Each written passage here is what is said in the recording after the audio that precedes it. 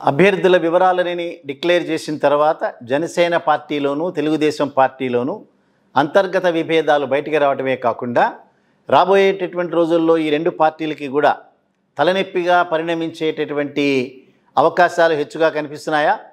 అవకాశాలు హెచ్చుగా ఉన్నట్లుగానే అనేక నియోజకవర్గాల్లో ప్రజలు అదే నాయకులు ప్రవర్తించేటటువంటి తీరును బట్టి తప్పనిసరిగా మనం దాన్ని ఊహించాలి.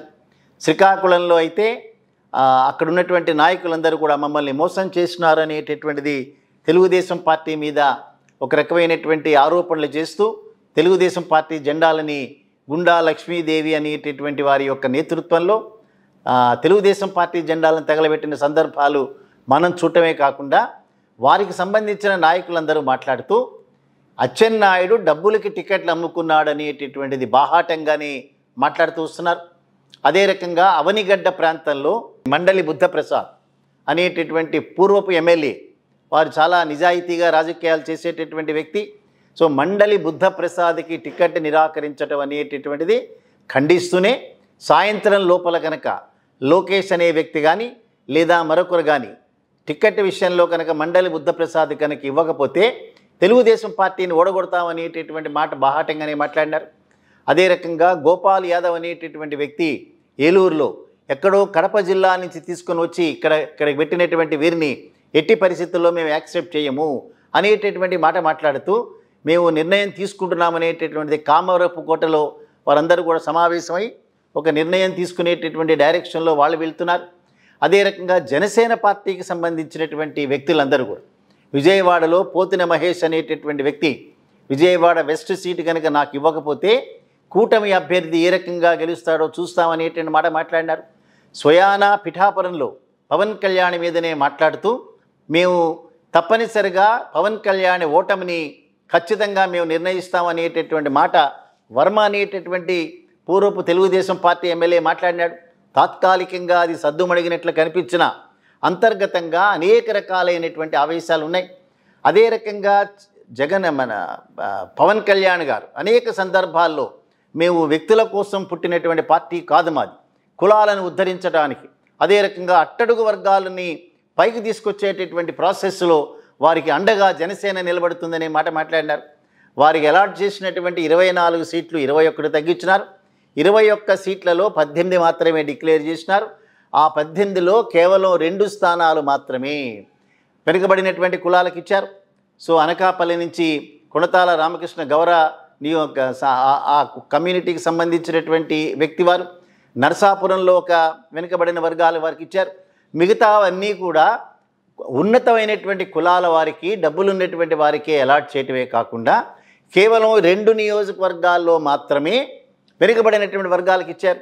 చంద్రబాబు నాయుడు గారు అసలు వెనుకబడిన వర్గాలందరూ కూడా తెలుగుదేశం పార్టీ డిఎన్ఏలో ఉందనేటటువంటి మాట మాట్లాడారు. సో నూట డెబ్భై ఐదు నియోజకవర్గాలు అసెంబ్లీకి సంబంధించినవి.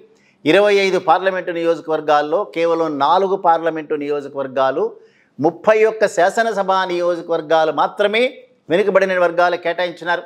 జగన్మోహన్ రెడ్డి గారు అయితే నూట డెబ్భై ఐదు అసెంబ్లీ నియోజకవర్గాల్లో నలభై ఎనిమిది స్థానాలు వెనుకబడిన వర్గాలకి అదే రకంగా ఇరవై ఐదు పార్లమెంటు స్థానాల్లో పదకొండు నియోజకవర్గాల వెనుకబడినటువంటి కులాలకు ఇచ్చినటువంటి దాఖలాలు. సో ఈ అలాట్మెంట్ని బట్టి చూస్తే అందరికీ అర్థమయ్యేటటువంటి రీతిలో ముఖ్యంగా వెనుకబడినటువంటి కులాల వారు దీన్ని తప్పనిసరిగా సంగ్రహిస్తారనే ఇటువంటి మాటని మేము అనుకుంటున్నాం. ఏ పార్టీ వారి యొక్క కులానికి కానీ వారి యొక్క వర్గానికి కానీ ఆ గౌరవం అనేటటువంటిది ఎవరిచ్చారనేటటువంటి తప్పనిసరిగా స్పష్టంగా కనిపిస్తోంది.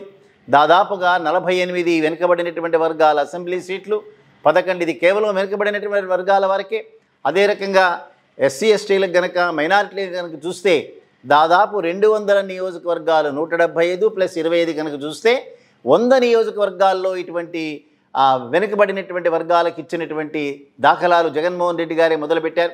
సో ఇవన్నీ కనుక మనం చూస్తే కేవలం మాటలకే పరిమితమయ్యేటటువంటి నాయకులు ఎవరు అదే రకంగా చేతల ద్వారా వారికి రాజకీయపరమైనటువంటి అధికారం కల్పించడమే కాకుండా రేపు ఆర్థిక పరంగా కూడా వెసులుబాటు కల్పించేటటువంటి ఒక రకమైన స్ట్రాటజికల్ వేలో వెళ్ళేటటువంటి జగన్మోహన్ రెడ్డి గారిని మనం చూస్తున్నాం. ఇటువంటి అద్భుతమైనటువంటి కార్యక్రమాలు చేసినా కూడా తెలుగుదేశానికి సంబంధించినటువంటి వారి సామాజిక వర్గానికి సంబంధించిన కొంతమంది కుహనా మేధావులు మాట్లాడేటటువంటి మాటలు మనం చూస్తున్నాం. సో గడిచినటువంటి కాలంలో ఆంధ్రప్రదేశ్ రాష్ట్రంలో విద్య అనేటటువంటిది పరుగులు పెడుతోందని ఈ మేధావులే మాట్లాడినారు. వైద్యం అనేటటువంటిది ఎప్పుడూ కూడా పడికట్టు పదాలు మాట్లాడుతూ ఏ ప్రభుత్వాలు అయితే వైద్యం మీద విద్య మీద ఖర్చు పెడతాయో వారినే ఆదర్శ పురుషులుగా పేర్కొంటామని మాట్లాడారు. ఇవాళ మాట మార్చి ఖర్చు మీరు పెట్టచ్చు కానీ ఫలితాలు ఎక్కడున్నాయనేటటువంటి మాట మార్చారు. ఫలితాలకి ఇక్కడెక్కడా కూడా ధర్మామీటర్లు ఉండవు. ఫలితాలు ఎవరైతే వాటి ద్వారా లబ్ధి పొందినారో ఆ కుటుంబాలను అడిగితేనే ఫలితాలు చెప్తారు. ఇవాళ ఆంధ్రప్రదేశ్ రాష్ట్రంలో పేదరికం తగ్గిందని వీరు ఏ కూటమికైతే వీరు సపోర్ట్ చే చే- చేస్తున్నారో. ఆ కూటమికి సంబంధించినటువంటి నివేదికలే చెప్తున్నాయి. నీతి ఆయోగ్ అనేటటువంటి నియ అనే సంస్థ ఆంధ్రప్రదేశ్ రాష్ట్రంలో విద్యా ప్రమాణాలు అంతర్జాత జాతీయ ప్రమాణాలుగా ఉన్నాయని మాట మాట్లాడితే ఈ కుహనా మేధావి వచ్చి ఆంధ్రప్రదేశ్ రాష్ట్రంలో విద్య మీద ఖర్చు పెట్టచ్చు కానీ ఫలితాలు మాత్రం లేవని వీరి ఒక్కరికే ఫలితాలు తెలిసినట్టుగా మాట్లాడినారు. వైద్యం విషయంలో ఖర్చులు పెట్టచ్చు. కానీ అక్కడ ఏ రకంగా కూడా పేద వర్గాలన్నీ కూడా బెనిఫిట్ పొందట్లేదు అనేటటువంటిది కొంతకాలం క్రితం ఆంధ్రప్రదేశ్ రాష్ట్ర ప్రభుత్వాన్ని అభినందిస్తున్నాను నేను. వారు చేసేటటువంటి కార్యక్రమాలన్నీ కూడా అధికారులు నాతో మాట్లాడినారు. ఏదైతే పవన్ కళ్యాణ్తో ఇంటెలిజెన్స్ అధికారులు చెవిలో మాట్లాడుతుంటారో సో ఆంధ్రప్రదేశ్ అధికారులు ఈ కుహనా మేధావితో మాట్లాడినారట. ఈ కుహనా మేధావి వచ్చి ఆంధ్రప్రదేశ్ రాష్ట్రంలో అద్భుతమైన కార్యక్రమాలు జరుగుతున్నాయని అప్పుడు చెప్పి ఇవాళ ఖర్చు పెట్టచ్చేమో కానీ ఫలితాలు మాత్రం లేవు అని సిగ్గు లజ్జ లేకుండా మాట్లాడేటటువంటి విధానాలు. అదే రకంగా ఎవరినైతే అసలు అద్భుతమైన కొంతమంది పేర్లు తీసుకున్నారు త్రిపురనేని రామస్వామి చౌదరి గారు గోరా శాస్త్రి గారు అదే రకంగా పుత్తలపల్లి సుందరయ్య గారు అనేక రకాలైనటువంటి వారిని అందరినీ తీసుకున్నారు. వారెక్కడా కూడా ఇటువంటి పోకళ్ళిపోయినటువంటి వ్యక్తులు కాదు వారెక్కడా కూడా. ఆంధ్రప్రదేశ్ రాష్ట్రాన్ని చాలా చాలా నిబద్ధతతో ముందుకు వెళ్ళాలని కోరుకునేటటువంటి వ్యక్తులు వారందరూ కూడా. అటువంటిది నీతి ఆయోగ్ చెప్పిన తర్వాత కూడా నా దగ్గరే సమాచారం ఉంది. ఆంధ్రప్రదేశ్ రాష్ట్రం పురోగతిలో లేదు అనేటటువంటి మాట మాట్లాడుతున్నారు. మరి వాళ్ళ తెలంగాణ రాష్ట్రంలో అదే పరిస్థితి ఒకవేళ అదే పార్టీకి మీరు ఏమైనా సపోర్ట్ చేయదలుచుకున్నారా? ఆ మాటలు మాట్లాడరు. సో ఇవన్నీ కూడా ఆంధ్రప్రదేశ్ రాష్ట్రంలో వెనుకబడినటువంటి వర్గాలకు వచ్చేటటువంటి ప్రోత్సాహం. అదే రకంగా చదువుకో చదువు చదువు అనేటటువంటి దాన్ని ఒక యజ్ఞంలా తీసుకుని బీదరికంలో ఉండేటటువంటి వారికి ఇంగ్లీష్ మీడియం చదువులు చెప్పించటం. అదే రకంగా మూడో స్టాండర్డ్ నుంచే ప్రత్యేకమైనటువంటి టీచర్లను పెట్టడం ఈ కుహనా మేధావి మరొక మాట మాట్లాడుతూ బడులని పునర్నిర్మి నిర్మించినంత మాత్రాన చదువులు చెప్పినట్టు కాదు. నిన్నటి వరకు కూడా కూలిపోయేటటువంటి చోట ఉండేటటువంటి బళ్ళు ఇవాళ అద్భుతమైనటువంటి రీతిలో ఆధునికమైనటువంటి దేవాలయాలుగా మార్చినటువంటి జగన్మోహన్ రెడ్డి గారిని ఆ బడులు మార్చినంత మాత్రాన చదువు పెరుగుతుందా అనేటటువంటి అమాయకమైనటువంటి ప్రశ్న వేసినారు. వీరందరికీ కూడా ఎజెండాలు ఉన్నాయి. ఈ వలస పక్షులన్నీ కూడా సీజన్లు బట్టి వారి యొక్క రంగులు మారుతూ ఉంటాయి.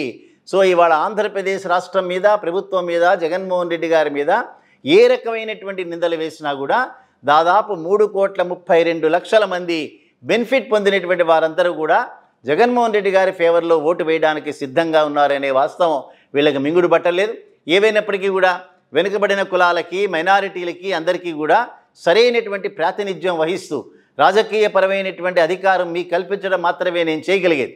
రేపు భవిష్యత్తులో తప్పనిసరిగా ఈ అధికారాన్ని ఉపయోగించుకుని మీ మీ కేటగిరీలన్నీ కూడా సరైనటువంటి నిష్పత్తులు రేపు కులగణన జరిగిన తర్వాత ఏ కులానికి ఎంతమంది ఉన్నారు వారికి వెళ్ళాల్సినటువంటి వాటాలు ఏ రకంగా ఉన్నాయనేటటువంటి తప్పనిసరిగా ఆంధ్రప్రదేశ్ రాష్ట్రంలో జగన్మోహన్ రెడ్డి గారి ఎన్నికైతే మాత్రమే జరిగేటటువంటి కార్యక్రమంగా ప్రజలందరూ కూడా భావించాలి.